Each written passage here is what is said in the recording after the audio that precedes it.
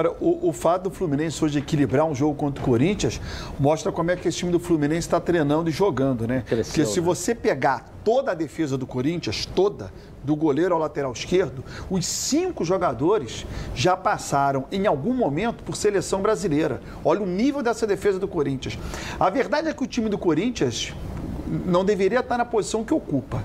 E hoje é uma partida importantíssima para o Fluminense, porque eu venho colocando aqui que a briga do Fluminense é com Corinthians e Santos, por essa vaga na pré-Libertadores. É ali que o Fluminense briga. O Fluminense está na frente do Corinthians e enfrenta o Corinthians hoje. Se der Fluminense, pô, ele vai abrir uma boa distância para o Corinthians. Praticamente vai confirmar essa vaga aí. E o Santos está na briga ainda pela Copa do, pela Libertadores da América. De repente ele a, conquista. A realidade é uma Agora, só. O Corinthians se vencer o Fluminense, ele não ultrapassa o Fluminense. O Fluminense tem 43, Corinthians tem 39, se ele ganhar ele vai a 42.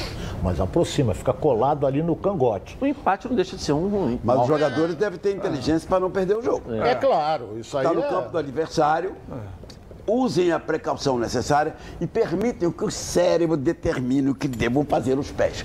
O que, lamentavelmente, não está acontecendo com o Botafogo e às vezes nem acontece com o Vasco. O Vasco jogou uma bela partida contra é, nós. O, empa o, empate hoje é um bom resultado para o Fluminense. A gente fala antes do jogo, né? Que ele mantém as, circunstâncias podem até ele mostrar Ele mantém a diferença de quatro é. pontos para o Corinthians. E se não, ganhar, e se ganhar, esse Se ganhar, ele pode até juntar. É o que eu disse ontem aqui que você não estava. Se ele ganhar do Corinthians hoje e ele joga depois é, no Engenhão contra o esporte certo? Se ele passar pelo esporte, ele junta com o Flamengo. O Flamengo só joga na segunda-feira. É. O Fluminense chega a 49 e o Flamengo vai jogar com o Goiás lá, junto com o Fluminense na pontuação. É, agora, e o, o, que a gente não pode deixar de destacar é que depois das duas derrotas, né, dos jogos iniciais do Marcão, que o time não conseguiu pontuar, é, você tinha Flamengo e Corinthians.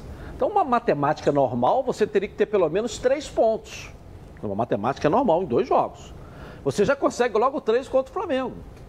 Então, numa programação que é feita, e, e, o futebol profissional hoje faz isso, esse jogo aqui, três, você ganha. Esse aqui pode ser um, esse aqui acho que eu vou perder, que eu consegui lá. Eles fazem essa projeção. Mas tá fazendo, você está fazendo a projeção de Flamengo... De pontos. Não, Aí, eu então, sei, mas dos entre Flamengo, e Flamengo Corinthians, Corinthians, ele teria, ele teria que fazer, por conta de ter perdido dois jogos e continuar buscando a Libertadores, três pontos. Em seis. Em seis que ele ia jogar.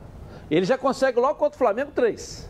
Então, que na minha visão, essa é a visão minha. O que vier hoje é lucro. O Fluminense vai ficar ali.